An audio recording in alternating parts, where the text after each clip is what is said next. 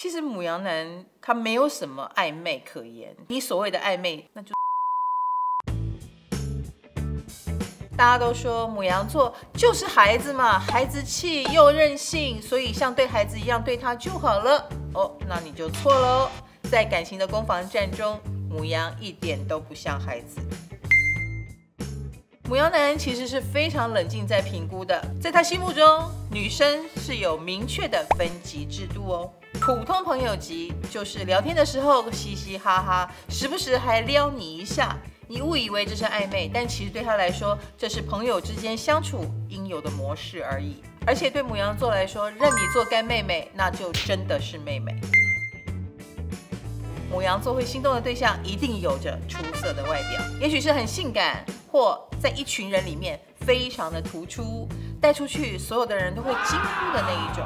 但是以色示人能得几时好呢？通常如果只是外表的话，哎，有时候他会一时冲动，但他也会三分钟热度，很快的失去兴趣。我一定要提醒所有想吸引母羊男的女生，你们要时时的保持自己的行情，让母羊座有一种想追你、狩猎你的感觉。不要忘记他们是火象星座，让他们想要打猎的感觉是很重要的。母羊男其实非常欣赏有自我主见跟非常独立型的女性哦。说白一点，他们就是蛮喜欢姐姐型的对象。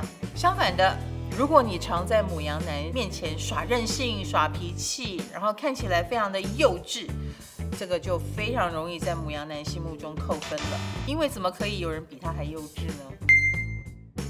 而且在相处过程中，千万不要太主动。如果他不找你，你也不要理他；或者他一冷淡，你就慌，以女朋友的姿态问东问西，管东管西，哦哦，那就不行哦。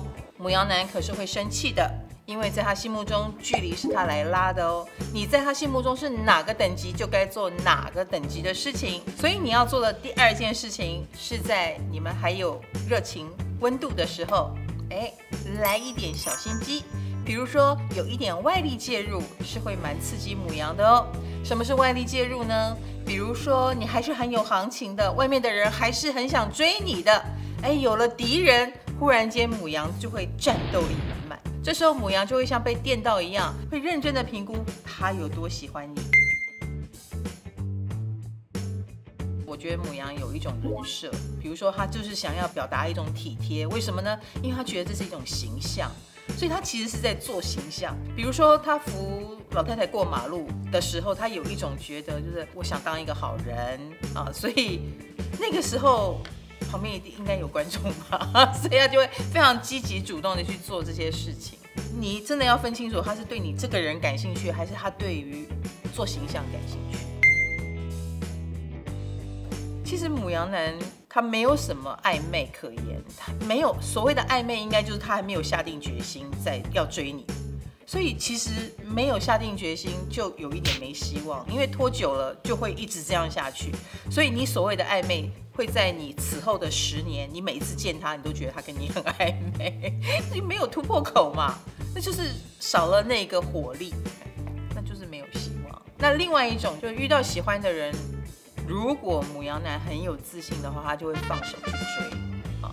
那如果他很自卑，他不敢追，那他也会很忍耐哦。啊，他会忍住，因为他他觉得没希望嘛。啊，那他就会让自己成为你的工具人。所以，如果一个母羊男默默的守候你，然后呃任你驱使，我觉得他很可能就是进入这个状态。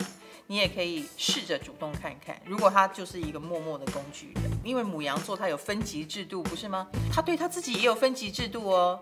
他觉得他配不上你，他就不会去笑想。所以看似很任性的母羊，其实在感情方面，他其实有一点点保守。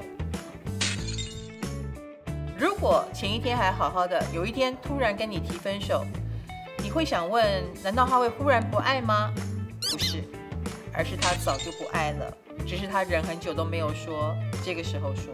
所以喽，跟母羊男在一起，你还是要有自己的事去忙哦，不要成天追着母羊男跑，更不要一天到晚直寻他。当你把自己打理好，活出独立女人的样子，我相信母羊男就会用欣赏的眼光看着你，说到你都会笑哦。